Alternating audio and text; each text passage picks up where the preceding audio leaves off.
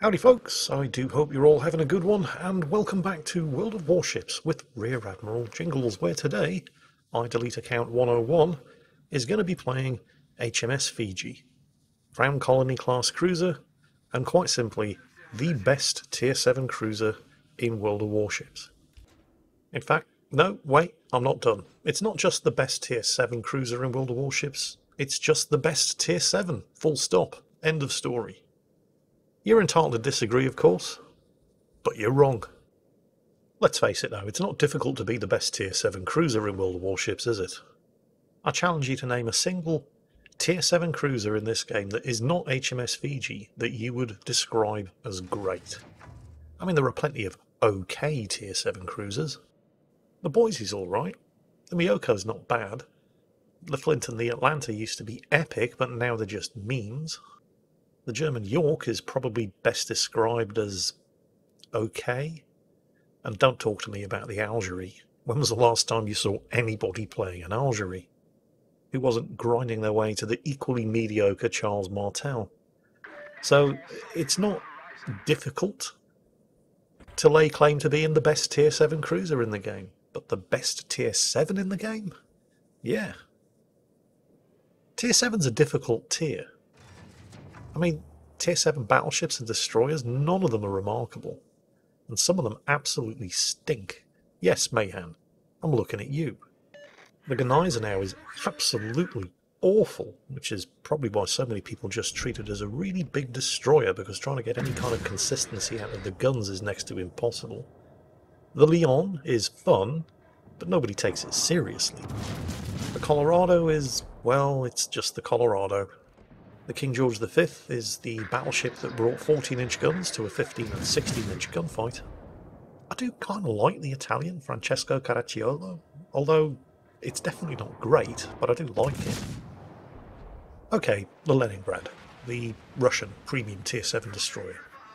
That is pretty good. But I'd still rather be in a Fiji. Fiji's eat Leningrads for breakfast with a spot of Earl Grey breakfast tea. Fiji has 12 152mm guns, and yes, in common with other British cruisers, it does not get high explosive shells, but in common with other British cruisers, it doesn't need them. Improved penetration angles on the armour piercing shells mean that you punish whatever you fire at with these guns. It's a significant upgrade over the Leander at tier 6. And it doesn't get any better at tier 8 and 9. The Edinburgh and the Neptune have the same gun configuration, but they're one and two tiers higher and have significantly worse matchmaking. And with a base 8 second reload, she's also got the fastest rate of fire of any tier 7 cruiser. Her armour is terrible of course, and if you get caught in open water by something with big guns like that Colorado, you can get ended very, very quickly. The delete account was actually very lucky that that didn't happen there and then. He saw the Colorado too late, and he wasn't quite in position to duck into concealment, cover, behind this spit of land here. Which I think is what he was trying to do, and it should work. I mean, it has worked. You can't see the Colorado anymore, but he's being spotted by the Vanguard. But that's okay, because the Fiji has a smokescreen. It's the only Tier 7 cruiser to get one. Well, yeah, okay, the Belfast, but the Belfast doesn't count. It's a premium, you can't get it anymore, unless you get lucky with a gambling box. Yeah, okay, the Italians get smokescreens, but they're different. They're nowhere near as useful as the Fiji smokescreen, which is a proper smokescreen. It's not just a high-speed get-out-of-jail-free card, such as the Italians get. I mentioned that her armour was bad. And it is, but it also isn't. I mean, the bow and stern plating is only 13mm, which is absolutely terrible. So, all heavy cruisers and all battleships are going to completely overmatch her nose and her back end but her belt armour is 114mm thick. That's actually the best belt armour of any Tier 7 cruiser, even the heavy cruisers. So she can angle, and providing she doesn't get hit in the nose, she can actually tank 16, hell, even 18 inch armour piercing. That's not something that you necessarily want to put to the test, of course, because if you do get hit in the nose, it will punch right through your citadel. And if you're being fired at from sufficient range, those shells are just going to come crashing down through your weakly armoured deck. But it is something that you can keep in your back pocket, should the situation arise and you've got no other choice. She also has, which our delete account is running right now, another essential consumable to back up that smokescreen generator, hydroacoustic search. Because as we all know, smokescreens are torpedo magnets. Fortunately, there's a Mahan torpedoes and a, you can outrun them at a brisk walking pace. But even if you're caught in smoke without your hydro up, and somebody's launched torpedoes at you that are actually capable of outrunning a messenger pigeon, the Fiji has another ace up its sleeve, in common with most of the other British cruisers fantastic engine performance. The 80,000 horsepower engine that the Fiji comes with, while it doesn't give it a great top speed of just over 32 knots, it does accelerate and decelerate extremely quickly. So if you're caught short and you need to be somewhere else extremely quickly, the Fiji can do it. Oh, I think he thought that the Colorado wasn't going to see him firing over that spit of land there. And he was wrong. uh, that was kind of lucky as well. Fortunately, it looks like the Colorado's front two turrets were the only ones that were able to fire. Yeah. Yeah, he's gone undetected now. You see how difficult it can be to judge. He can fire over that without being spotted, but just a couple of hundred metres to the rear and he couldn't. But, well, the Fiji's astonishingly good engine performance to the rescue. I've actually seen these ships, and the Edinburgh, Neptune, and Minotaur are the same, in a full hard rudder turn, increasing speed. The kind of manoeuvre that normally in other ships bleeds your speed off like nobody's business, but in these British cruisers, they actually accelerate while hard manoeuvring. Whoa, that was a nasty lag spike. Got a bit of a potato internet connection there, mate. What he's doing now is a bit of a risky move. I don't mean that he's at any risk from the Colorado. The Colorado's guns are all pointing the other way and he's on low health, so this is going to be a relatively easy kill, but he's way out on the flank here. And... Well, the Colorado's secondaries firing. They are. Colorado's secondaries have a 5.6 kilometre range. Those secondaries started firing at 5.7 kilometres when he came into line of sight around the side of the island. So that's either a secondary build Colorado, if such things exist, or it was just it was just latency. It might have just been latency. We'll give him the benefit of the doubt. Colorado did manage to clip him in the nose there, something that I think if my delete account hadn't wasted time with the torpedoes and just focused on using the guns, he would have been dead before he got the chance to do it. But, well, it's easy to backseat game. Hell, I spend my entire life backseat gaming. That's what this channel's all about. Uh, but at the end of the day, the Colorado's dead, and my delete account isn't. But yes, the danger that I was talking about wasn't that I delete account was likely to be sunk by the Colorado. I mean, the chances of that happening were fairly slim. Oh, hang on a second, could be in trouble with the Strasbourg. He's trying to get into cover behind the island. Oh, no, no, it's fine, it's fine. The Strasbourg's firing high explosive. Oh, and another nasty lag spike. But yes, the danger, I will eventually make this point that I was talking about wasn't that he was in any kind of extreme danger from the Colorado, but taking this extreme flanking position in order to get the drop on the Colorado has left him right out on the flank. And that can usually mean that you're completely out of position to have any further impact on the rest of the battle for at least the next few minutes. However, well look at the rest of his team. He's not that much further behind them. Trying to finish that Strasbourg off. And he might get him. Wait. Another lag spike. Everything froze up there and you didn't actually see the damage, but this should get him. Is it just me? Or did the notification that he'd sunk the Strasbourg pop up a fraction of a second before he actually sank the Strasbourg? oh well, never mind. Oh, the Dione. That's not a bad ship as Tier 6 cruisers go, but I do have one question to ask of that Bajoni captain. What is he doing sailing towards this lot? Okay, there's no longer a West Virginia here, but there is a Fiji, a New Orleans, a Richelieu and an Amagi, and you're in a Tier 6 light cruiser. Has the strain of it all just become too much for you to bear? Can you not take it anymore? Or are you just sick of living? Our delete account does make a very dubious firing choice here. He stops to volley a salvo at the Vanguard, who is actually no threat to him at the moment, can't fire. This allows the Bajoni to do some damage, knock out some torpedo tubes, and set a fire. If he'd shot at the Bajoni instead of shooting at the Vanguard, he would have taken no damage at all from that. Admittedly, he didn't take a huge amount of damage, but it did force him to put his damage control on cooldown, which he wouldn't have had to do, and taking some damage is always worse than taking none. I know, I know, backseat gaming again. It's what I do. Now, where did that Vanguard go? Hmm. He's on the other side of that island. And he's probably expecting, if he has any kind of sense, that this cluster of enemy ships, who are behind on points and who are very shortly going to be behind on cap circles with less than 10 minutes of the game to go, are going to be rushing straight for cap circle Bravo in the centre of the map in order to make a fight of it. So if I was that Vanguard, I would be lurking on the far side of that island, waiting to spank the broadside of anybody who pokes his nose out of this cap circle. And that is exactly what he's doing. Now, the Vanguard is only armed with 15 inch guns. But then, what the hell was that? Did you see that? That airstrike from the Eendracht. that was absolutely terrible. well, anyway, the Vanguard is clearly positioning to do exactly that and the Richelieu is entirely welcome to take his chances, but the Fiji is not, not with 13mm of bow plating.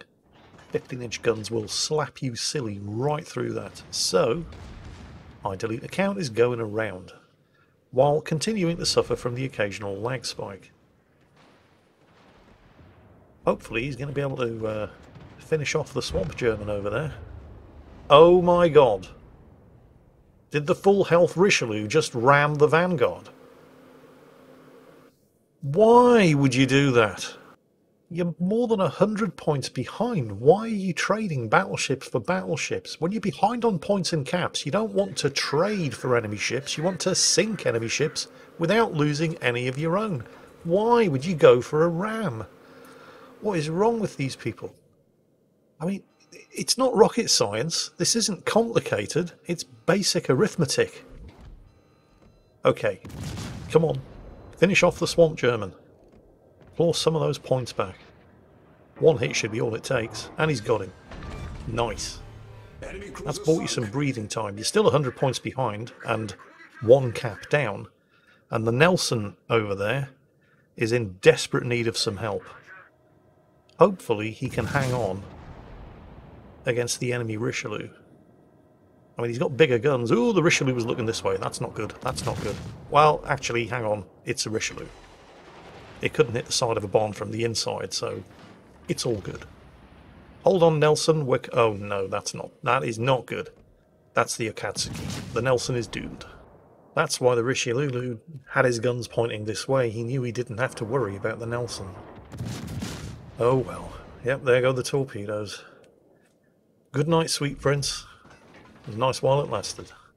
Alright, so it's three on three again. There's a Fuso over there that we don't have to worry about right now, but there's a Richelieu down there that we definitely do. He's reversing. Looks like he's trying to play for time. But we've got an Amagi coming in. And I'll I'll take the Pepsi challenge with the Amagi against the Richelieu any day of the week. So what's our delete account going to do here? Because he is in open water and the Richelieu does only really have to get lucky once against a broadside light cruiser. So I think he's going to try to sneak the cap. I mean, they know he's here, somebody's flipping the cap. They've lost sight of the Fuso, and he was last spotted heading north, so he could be appearing around the side of that island any second now. Just to cover his bets, our delete account launches his three torpedoes. Yeah, the Fiji gets torpedoes, but they're... Oh, hang on, he's spotted. Alright. Doesn't want to risk losing his capture progress. Pops the smoke screen, slows down.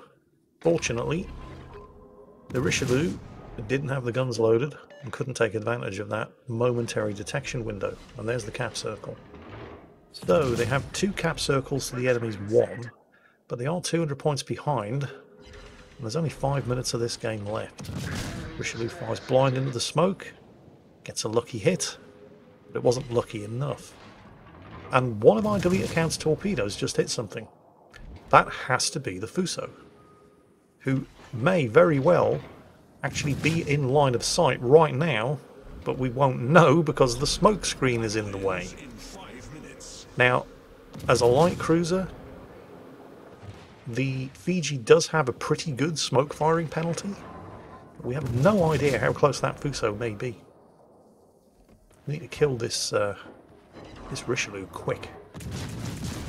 Keeps looking for the Fuso, but he hasn't been spotted yet. If the Fuso had just appeared round the side of the island, he's close enough now to be seen and firing from inside smoke. So where did the Fuso go? Oh, they've just lost the New Orleans. That's put the enemy team 300 points ahead, but they are about to clean up the kill. There it is, on the Richelieu, and there's the Kraken Unleashed. So, if you have to trade, at least trade a cruiser for a battleship, because you come off best in the points exchange, and there's the Fuso. What on earth is he doing? He had the perfect opportunity to come around the side of this island and spank the bejesus out of I delete account. But what looks like happened is he was doing that, ate one torpedo, panicked, turned around, and he's going the other way. Which means for the best part of the last two minutes, that Fuso has done absolutely nothing other than eat a torpedo and then pull a U-turn. He's had no contribution whatsoever to the fight that's been raging on this side of the island. And now, I mean, the Fuso's a good ship, but it's only a Tier 6 battleship, and it's only armed with 14-inch guns. And now he has to fight an Amagi on one side, and a Fiji suffering yet more lag spikes on this side. And the Amagi is armed with 16-inch guns, and there's the Confederate award. Torpedoes, away, 8 kilometer range, no problem. The Amagi, of course, even though he's taken a couple of torpedoes, I think, from the Akatsuki, who's been forced to launch them from behind, still has a 10,000 hit point advantage over the poor old Fuso. Wait, no. No. No, what? Why would you do that? Is there some kind of sale on ramming flags at the moment? Just in case there's any doubt whatsoever that the Fuso was the one who initiated that ram? even assuming that that was the best thing that the Fuso could do, which is debatable. But that was all the Amagi. Pay attention to chat. There he is, a milkshake in the Fuso. And I quote, Yeah, I totally meant to do that. Wasn't him turning inside me. Yep. The Tier 8 just threw his ship away to take out a Tier 6 battleship. Another points neutral exchange, which is exactly what you need when you're 100 points behind and the Akatsuki, who, unlike certain members of these two teams, is actually capable of thinking and breathing at the same time, didn't bother trying to stern chase a 32 knot battleship and try to hit him with torpedoes, and instead has flipped capture point Charlie, which has given the enemy team two capture circles as well as their 150 point lead, and has also put the Akatsuki well out of harm's way of I delete account in the Fiji. The only chance he has now is if the Akatsuki tries to win any harder than he already is. Now, frequent visitors to this channel may expect that that is exactly what is going to happen because our delete account, even though he is continuing to suffer from lag spikes, is spotted. Which can only mean that the enemy destroyer is looking at him and is somewhere within his detection radius of 10.1 kilometers. Unfortunately, for those of you who are expecting the enemy destroyer to throw this match, this video is not called Throw Hard. It's called Good Guy Fiji. And the reason for that is because of what's going on in chat. I delete account just told the Akatsuki, I'm not going to be able to find you. To which the Akatsuki replied, Yeah, that's kind of true. And then volunteered to head to Capture Circle Bravo in order to make a fight out of it. What we're actually seeing here is something incredibly rare in online gaming in general and World of Warships in particular. These guys are both trying to out good guy each other. I delete account simply tells him, nah, don't. You should just win. Our brave Fiji captain isn't going to take the win, he wants to earn it. He pops his hydro, He comes perilously close to actually spotting the Akatsuki, according to chat, who says, Whew, that was a close one. I could actually see your deckhands. Unfortunately for I Delete account, close only counts in horseshoes and hand grenades, and World of Warships is neither. But at the very least, it was good to see the last two surviving ships being such good sports and gentlemen about it all, instead of the usual descent into name calling, recriminations, and generally toxic chat behaviour. So I guess there is some hope for the human race after all. Either way, I hope you enjoyed today's video, and as always, take care, stay safe, and I'll catch you next time.